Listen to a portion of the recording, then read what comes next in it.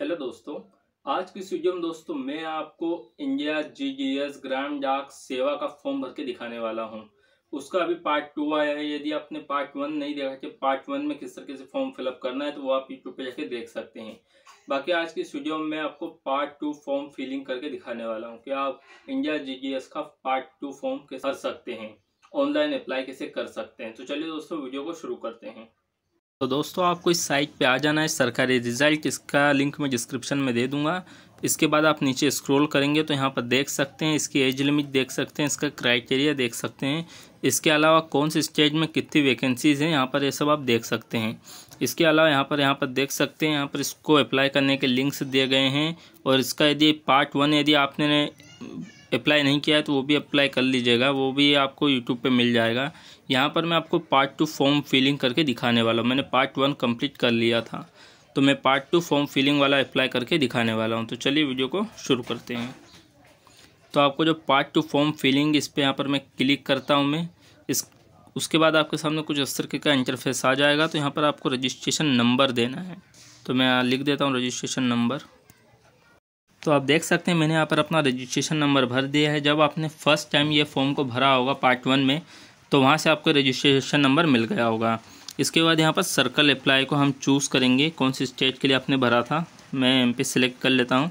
उसके बाद आपको सबमिट के ऑप्शन पे क्लिक करना है। यहाँ पर देख सकते हैं कि मेरे मोबाइल नंबर पर एक ओटीपी गया है, जो मुझे यहाँ पर फिल करना है। तो ये पर मैं ओटीपी डाल देता हूँ मैं। उसके बाद यहाँ पर मैं कैप्चा फिल कर लेता हूँ। कैप्चा फिल करने के बाद यहाँ पर नेक्स्ट का ऑप्शन है, इस पर मैं क्लिक करूँगा।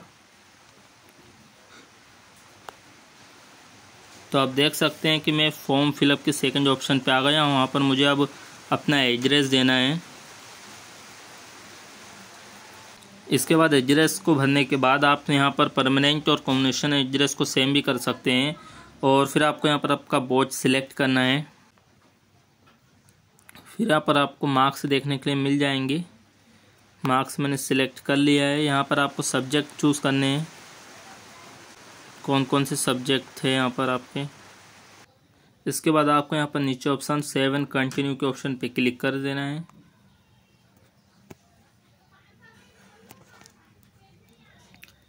इसके बाद यहाँ पर फिर से आपको सेलेक्ट डिवीज़न अप्लाई करने का ऑप्शन दे रहा है। यहाँ पर आपकी कुछ डिटेल्स भी आ जाएँगी। जेंडर मेल कास्ट वगैरह वगैरह। यहाँ पर मैं सेलेक्ट कर लेता हूँ डिवीज़न में।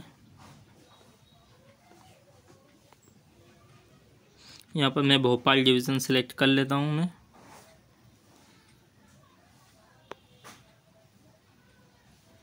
देख सकते हैं यहाँ पर मुझे रेफरेंस देना है डिवीज़न के लिए तो यहाँ पर दे देता हूँ मैं। इसके बाद दोस्तों यहाँ पर आपको डिवीज़न में नंबर डाल देते हैं कि आपकी वैकेंसी किस हिसाब से लगेगी। यहाँ पर आप देख सकते हैं यहाँ पर सिलेक्ट डिवीज़न की यहाँ पर फॉर्म एलिजिबिलिटी वैकेंसीज भी देखने के लिए मिल जाएगी इसको आप यहाँ पर डाउनलोड भी कर सकते हैं इसके बाद यहाँ पर डिक्लेरेशन के यहाँ पर टिक कर देना है नीचे बाद यहाँ पर सेव एंड प्रोसीड पर क्लिक करना है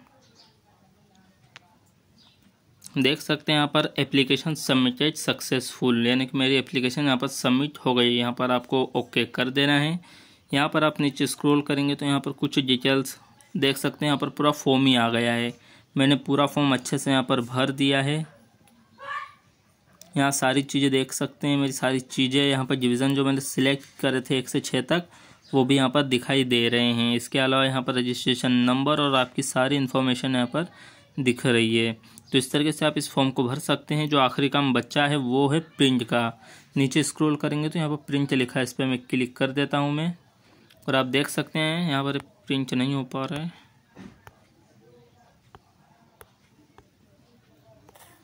प्रॉब्लम की बात नहीं है दोस्तों, यदि ये प्रिंट होने में यदि आपको प्रॉब्लम हो रही है तो आप यहाँ से आप इसका स्क्रीन शॉट भी ले सकते हैं, जो मैं ले लेता हूँ मैं। आपके साथ ऐसी प्रॉब्लम नहीं होगी तो आप इसको अच्छे से भर सकते हैं। उसके बाद यहाँ पर आप बेक कर सकते हैं। तो इस तरीके से आप पूरा फॉर्म को भर सकते हैं बिना किसी प्रॉब्लम के।